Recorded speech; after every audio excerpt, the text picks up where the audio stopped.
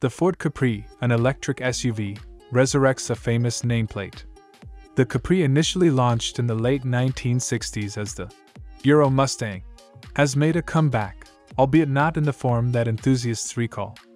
The reimagined Capri is now an electric crossover, exemplifying the significant transformations within the automotive industry.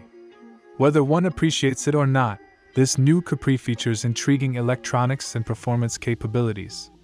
The Capri is derived from the Volkswagen ID.5, rendering it analogous to the European electric Ford Explorer. This SUV features a reduced roofline and a coupe like silhouette, like a raised sedan. The robust design of the original Capri renders this new iteration distinct. Nonetheless, its sleek lines and meticulous detailing render it attractive. The VW ID.5 and Capri possess identical dimensions 182.4 inches in length, 73.7 inches in width, and 64 inches in height. To achieve a sportier appearance, change from 19 inch wheels to 20 or 21 inch wheels. The rear wheels are powered by an electric motor generating 282 horsepower and 402 pound feet of torque located beneath the floor.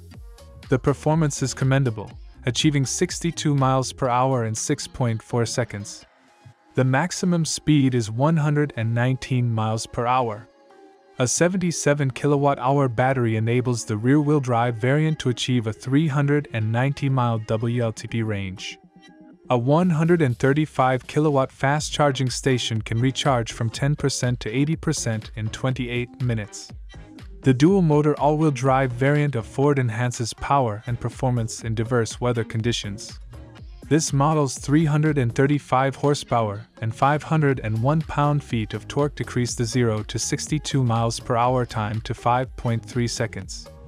The 79 kilowatt hour battery, which is marginally larger, has a range of 368 miles and enables rapid charging at 185 kilowatts, decreasing the charging time from 10% to 80% to 26 minutes.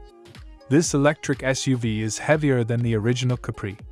The rear wheel drive variant weighs 4,625 pounds, while the all wheel drive variant weighs 4,828 pounds.